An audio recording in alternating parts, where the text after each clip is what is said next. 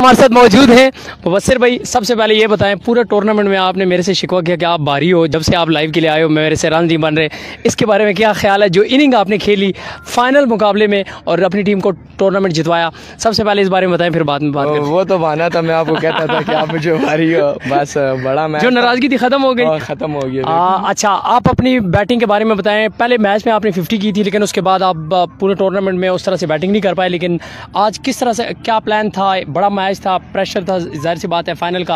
आ, लेकिन जिस तरह से आपने बैटिंग की ग्राउंड के चारों तरफ़ आपने शॉट्स लगाए पचासी रन की नहीं खेली अपनी बैटिंग के बारे में कुछ बताएँ। मैं यही बताऊँगा विकेट बहुत सीधा था स्पोर्टेबल था बैट्समैनों को। और अल्लाह ताला ने मदद की जिधर का बॉल था मैं उधर खेलता रहा अल्लाह ताला ने मदद की। और दिन विकेट थोड़े स्पिन टाइप थे तो उसमें नहीं हो सका तो फाइनल में बड़ा मैच था अल्लाह ताला ने मदद की। चले जी अदनान खान की जानब से आपके लिए पच्चीस हज़ार रुपये का कैश प्राइज़ इनाम भी है और हमारी तरफ़ से आपको बहुत बहुत मुबारक हो। आपको काफ़ी सारे दोस्त सपोर्ट कर रहे थे उनके बारे में कुछ कहना चाहेंगे? अल्लाह पाक उनको खुश रखे जजाक अल्लाह उन्होंने मेरे लिए भी ऐलान किया पैसों का आपको भी मुबारक हो क्योंकि आप मेरे दोस्त के भाई अल्लाह आपको खुश रखे जजाक बहुत शुक्रिया। जी ये हमारे साथ आज फाइनल मुकाबले के चैंपियन खिलाड़ी मुबसर खान मौजूद थे।